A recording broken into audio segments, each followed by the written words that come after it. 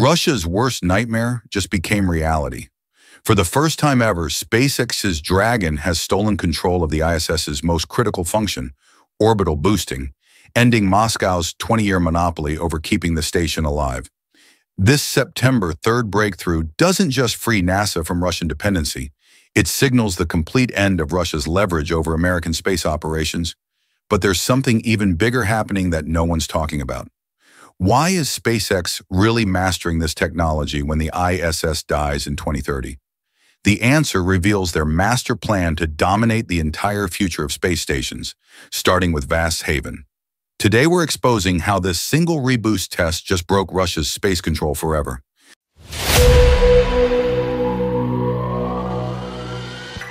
September 3, 2024. For exactly 5 minutes and 12 seconds, Russia watched their 20-year monopoly over ISS orbital control crumble in real time. SpaceX's Dragon wasn't just performing another test, it was executing the most significant power shift in space operations since the Cold War. Here's what actually happened during those critical minutes. Dragon fired its newly upgraded Draco thrusters in a precisely calculated burn, lifting the entire 420-ton International Space Station by 1.6 kilometers. But here's what the headlines missed. This wasn't just about altitude. This was about breaking Russia's stranglehold over the most critical function keeping the ISS alive. Think of the ISS as a massive cruise ship constantly sliding down an invisible hill. Earth's atmosphere, even 400 kilometers up, creates enough drag to pull the station down 50 to 200 meters every single day. During solar maximum periods like we're experiencing now in solar cycle 25, that drag intensifies dramatically. Without regular orbital boosts, the ISS would lose 20 to 50 kilometers of altitude annually, eventually spiraling into catastrophic reentry. For over two decades, only Russia's Progress spacecraft could perform this life-or-death task. Moscow held the ultimate trump card. Walk away from the ISS and NASA loses the ability to keep their $150 billion investment from becoming space debris. Russia's Progress could manage one or two burns per mission, each raising orbit by one to five kilometers. Adequate, but barely. And here's what few people realize about Russia's leverage. Every ISS reboost gave Moscow veto power over station operations. Disagree with American policies? Delay the next Progress mission. Want concessions on Ukraine sanctions? Suddenly, reboost schedules become technical challenges. But Dragon's September test shattered this dynamic forever. SpaceX fitted their cargo capsule with a revolutionary boost kit, specialized Draco engines, dedicated fuel tanks, advanced heating systems, and precision insulation, all integrated into the spacecraft's trunk section. The engineering achievement here is staggering. Dragon now delivers 1.5 times more thrust than Russia's Progress. We're talking about 400 newtons of thrust per engine, with 18 Draco engines generating combined power that can nudge a structure the size of a football field through the vacuum of space. NASA immediately scheduled multiple Dragon reboosts throughout fall 2024, signaling complete confidence in the new system. But this is just the beginning. What's really surprising is how this single breakthrough unlocks America's path to total space independence, starting with a project that will make Russia's worst fears come true. This Dragon reboost represents the final chess move in a game Russia didn't even realize they were losing. When Moscow threatened to abandon the ISS by 2028 to join China's Tiangong station, they thought they held all the cards. They were catastrophically wrong. SpaceX's solution eliminates Russian leverage permanently, but the implications reach far beyond ISS operations. This technology directly feeds into America's most ambitious space project yet, the U.S. deorbit vehicle, essentially a Dragon on steroids designed to safely destroy the ISS when it retires in 2030. Here's where the engineering becomes mind-blowing. The USDV will mount 46 Draco engines compared to Dragon's current 18, generating a combined 18.8 tons of thrust. That's four times more powerful than today's Dragons, capable of gradually pulling the ISS down from 400 kilometers altitude to a perigee of 80 to 100 kilometers over the remote South Pacific near Point Nemo. And here's a detail most people overlook. The USDV will carry 16,000 kilograms of propellant, six times more than Cargo Dragon, requiring Falcon Heavy instead of Falcon 9 for launch. This isn't just about deorbiting the ISS, it's about proving America can handle the largest, most complex space operations independently. The competitive landscape analysis reveals Russia's strategic nightmare. While Moscow doubles down on aging Soyuz technology, and China builds their isolated Tiangong station, SpaceX is positioning Dragon as the universal solution for next-generation space infrastructure.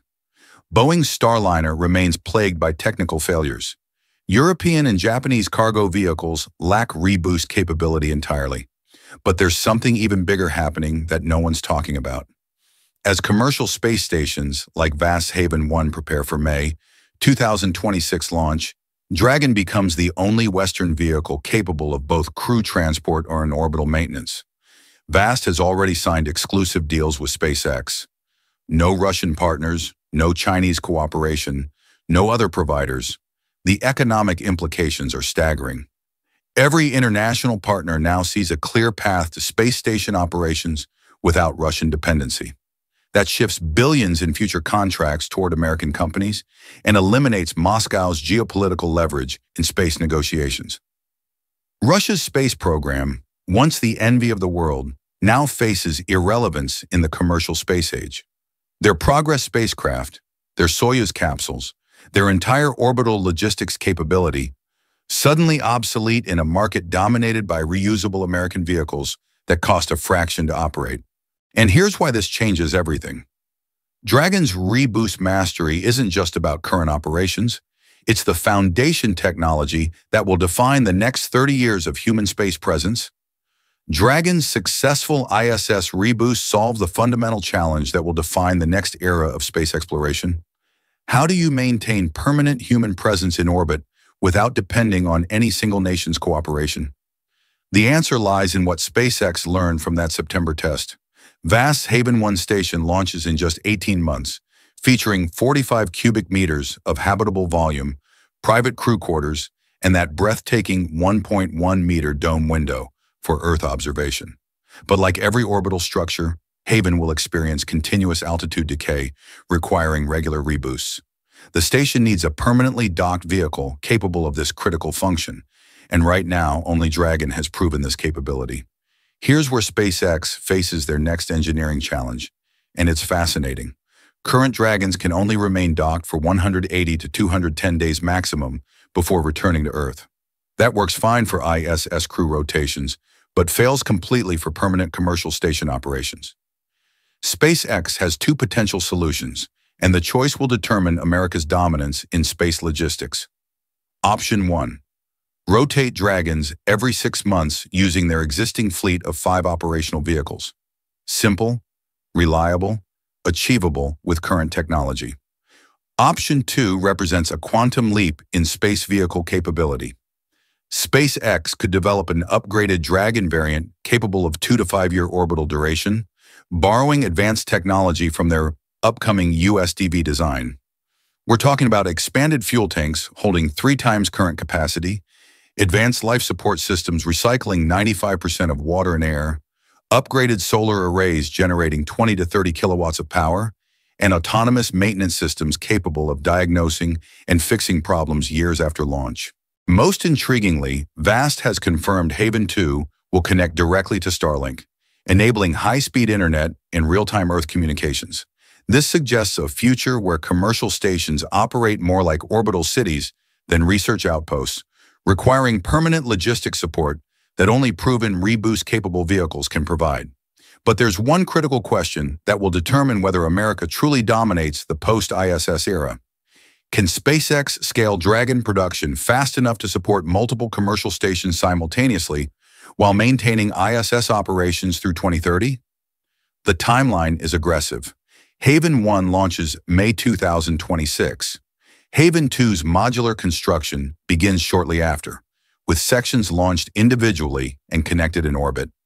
Multiple international commercial stations are planned by 2028 to 2030. Each requires permanent reboost capability. If SpaceX succeeds, Russia becomes completely irrelevant to human space operations for the first time since Sputnik.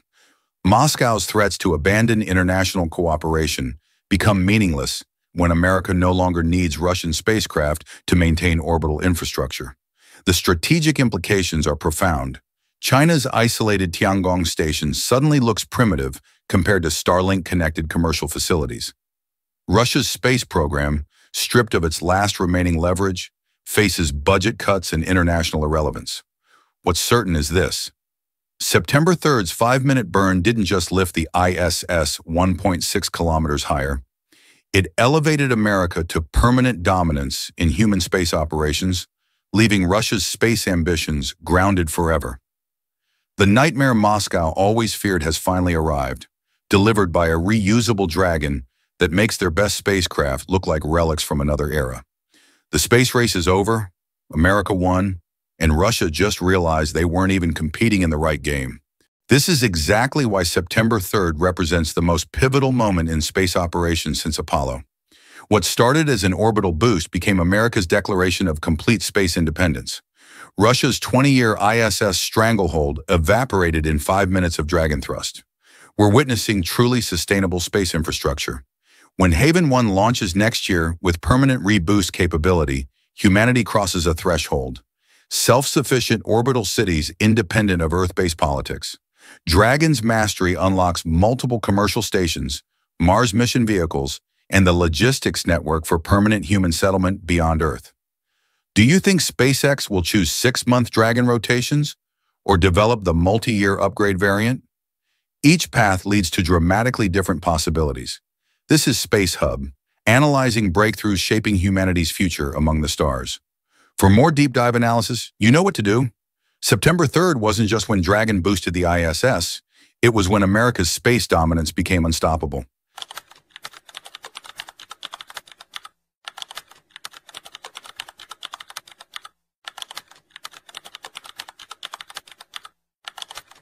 NASA's acting administrator just dropped a bombshell. Each Artemis mission costs $4.2 billion, making a sustainable moon program impossible. While America struggles with this crushing reality, China races ahead. But here's what most people don't realize. Elon Musk revealed the genius fix for this exact problem back in 2017, a radically different approach that could revolutionize how we reach the moon.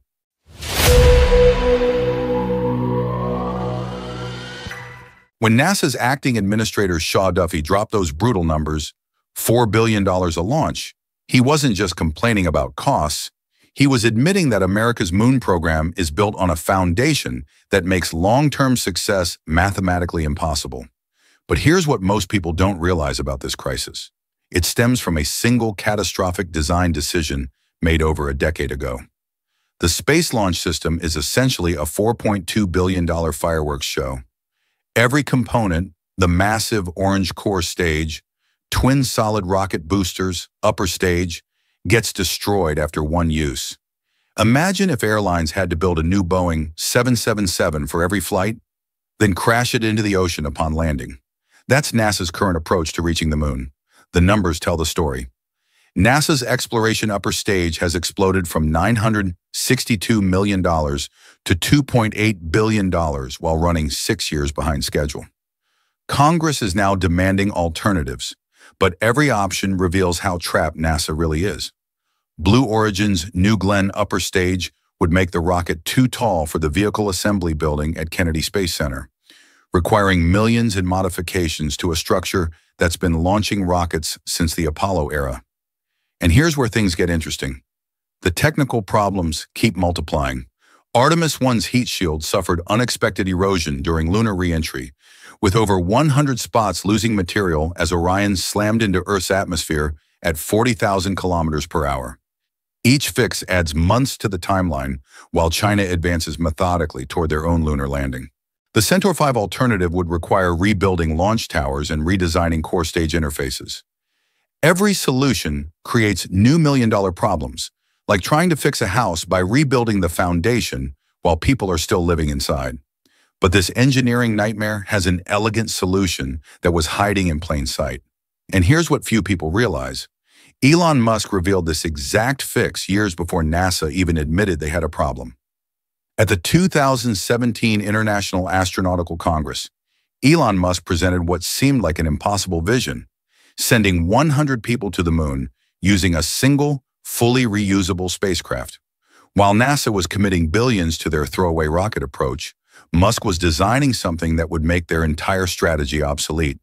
Think of NASA's current plan like a cross-country move where you hire three different companies, one truck to get your stuff to a warehouse, a plane to fly it across the country, then another truck at your destination. SpaceX's approach? One vehicle that drives door to door, then drives itself back for the next customer. The technical elegance is breathtaking. NASA's Artemis missions require an entire fleet working in perfect coordination. SLS rocket, Orion capsule, multiple Starship tankers for refueling, and a specialized human landing system. One failure anywhere in this chain strands astronauts in the most hostile environment imaginable. SpaceX's original Starship concept eliminates this complexity entirely. One vehicle refuels in Earth orbit, flies directly to the moon, lands on the surface, and returns astronauts safely using its own heat shield and aerodynamic control surfaces for a vertical landing back on Earth. No complex orbital rendezvous, no single points of failure stringing together multiple spacecraft. But here's the detail most people overlook. This wasn't just about technical superiority. It was about recognizing that sustainable lunar exploration requires economic sustainability. At $4.2 billion per mission, NASA can afford maybe one flight per year. SpaceX's reusable approach could potentially cut costs by 95%, enabling dozens of lunar missions annually. And here's what's truly noteworthy about the competitive landscape. While NASA debates upper stage alternatives and fixes heat shield problems, China advances with methodical precision. They're not burdened by congressional budget battles or public failure analysis.